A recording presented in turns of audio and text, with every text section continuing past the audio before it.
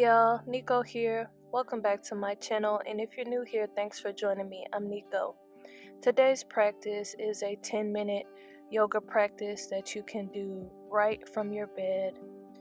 And we'll just begin with three deep breaths. Inhale through the nose and exhale gently out the mouth.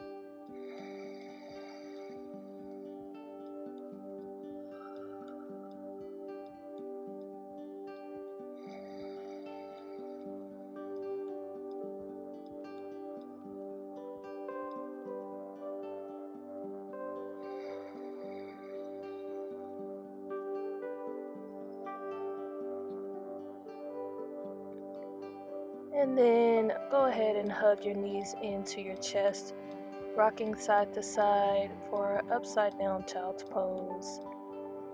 Just waking your body up.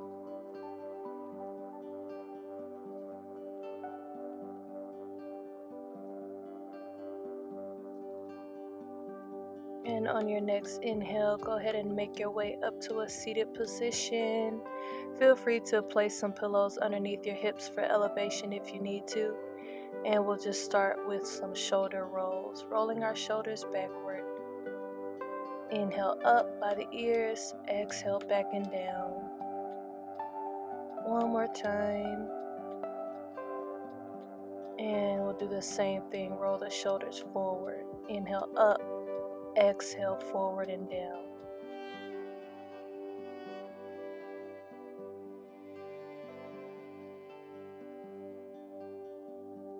Come back to a neutral position. Sweep those arms up with an inhale. Go ahead and bend at the right elbow, grabbing it with the left hand and pulling it down. Getting a good stretch in those shoulders and triceps.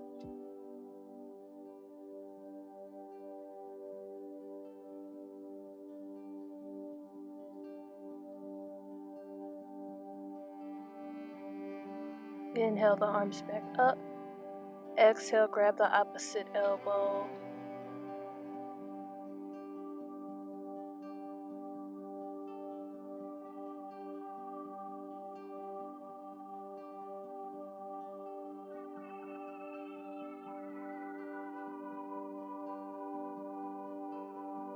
Take your right hand, plant it down on the ground beside you, dropping your left ear to your left shoulder. If you would like a deeper stretch, you can gently place your left hand on the side of your head. Just getting a bit of a deeper stretch on the right side of your neck.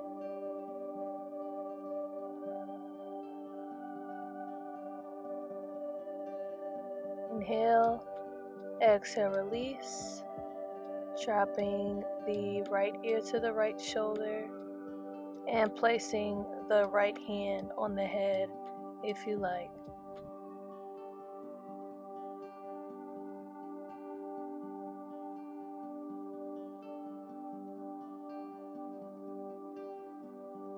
Release.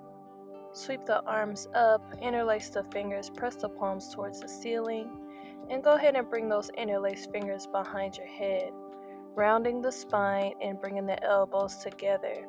We're just moving into a seated cat cow with open elbows. So as you open the elbows, inhale, and as you close them, exhale. Arching the spine as you inhale, rounding the spine as you exhale. And this is going to give us a stretch in between those shoulder blades, and then we're kind of creating some weight on the back of the head, just a little bit to get a stretch in the upper part of our shoulders and in our neck, releasing some tension there.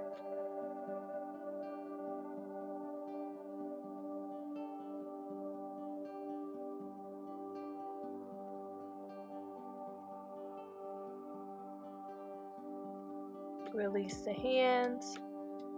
I'm to go ahead and grab a pillow and bring it underneath my hips just to show you Sometimes, as you're practicing in bed, your body will start to sink down into your bed. So, feel free to use that for hip elevation.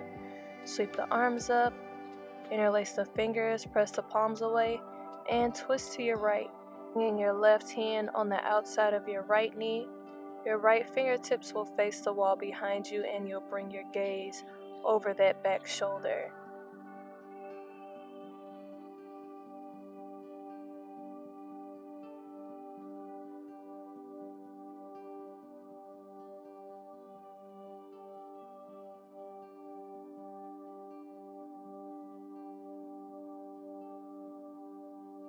Inhale back up to center.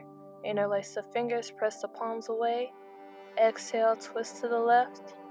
Right hand on the outside of left knee, left fingertips face the back wall. Gaze over the left shoulder, or as far as you can.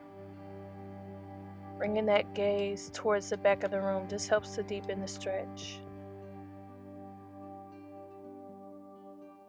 Inhale back up to center, interlace the fingers, palms press away again. Exhale your hands down to your sides. And we're going to make a fire log position with our legs, but feel free to stay in regular easy pose with your legs crossed. Stacking our right foot on top of our left knee, and we'll sweep our arms up. Inhale, exhale, lower down just for a forward fold, folding over the legs trying to let those legs be parallel with the front of your bed. You can also bring a pillow underneath the knee and the bottom foot to help you get your legs in that fire log position. And feel free to keep that pillow underneath your hips for some elevation to help you get down in the fold a little bit better.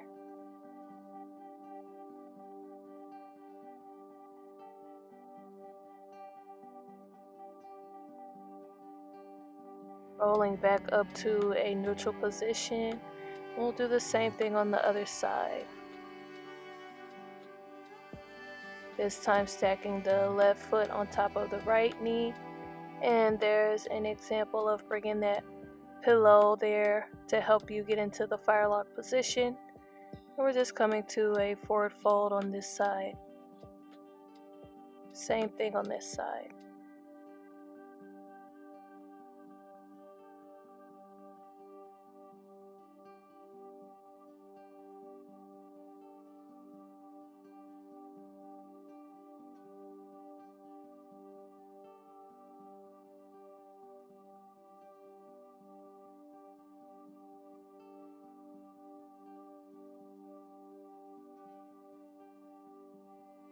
Go ahead and come back up to a neutral spine and we'll extend those legs out in front.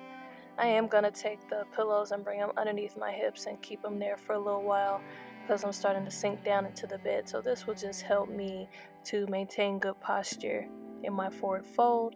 Sweeping those arms up with an inhale. Exhale, fold over those legs. Just letting those hands come as far as they can don't worry too much about being able to reach your feet, but if you can reach your feet, that's totally fine. Leading with the chest as you lower down, trying to keep the spine long.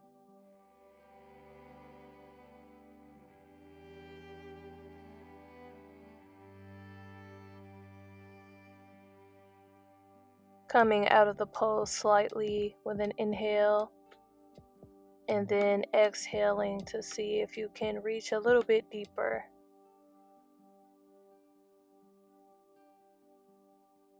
Go ahead and release, coming back up to a neutral spine. We'll bend our knees and bring the bottom of our feet together for bound angle, grabbing those ankles or the feet.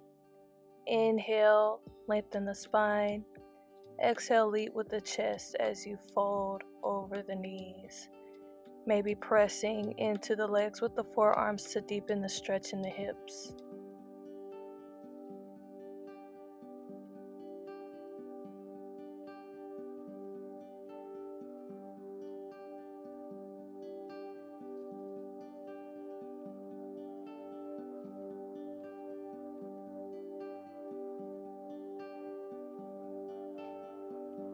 Go ahead and roll back up just coming to an easy seat, whatever that means for you. And we'll spread the fingers wide, touching the fingertips together, bringing our hands to the Hakini Mudra for focus for our day. ending our practice with a few moments of breath. And go ahead and set an intention for your day. Maybe something like, I will have a great day. I am capable of facing any obstacles today. Breathing in whatever positive affirmation and breathing out any worry, fear, or doubt.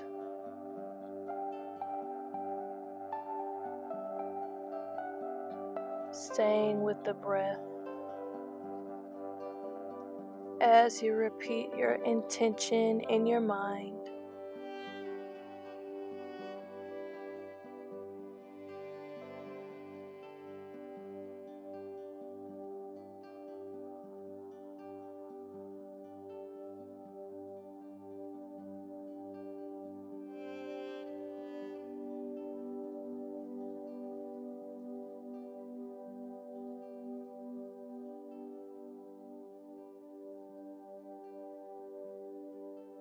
And on your next inhale, release your hands, sweeping those arms up.